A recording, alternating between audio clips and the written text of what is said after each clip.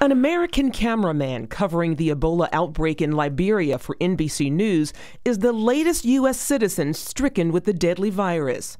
Ashoka Mukpu will be flown home to the U.S. for treatment.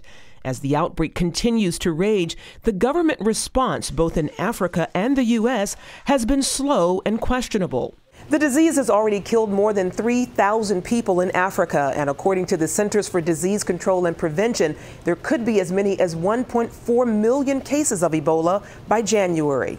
Save the Children reports that Ebola is spreading at the rate of five new cases an hour in Sierra Leone.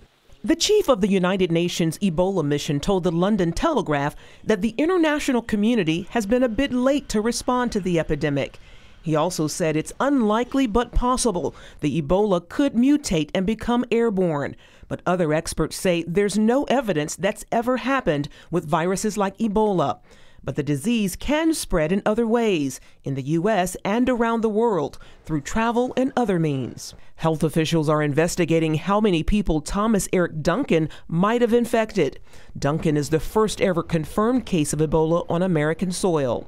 A Dallas emergency room nurse sent Duncan home despite showing symptoms and admitting he had traveled from West Africa. Duncan's nephew called the CDC after he was turned away from the hospital. I was terrified, scared, worried. The CDC has issued a nationwide alert to all hospitals in the U.S. on how to appropriately respond to possible cases of the deadly virus.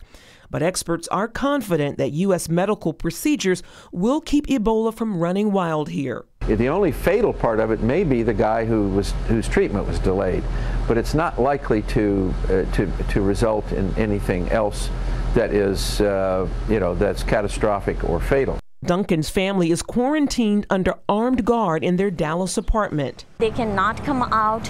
Uh, they are not even allowed to come on the porch. Meanwhile, CBN's Operation Blessing remains on the ground in Liberia, providing supplies and working with area churches to teach people about prevention and treatment. Charlene Aaron, CBN News.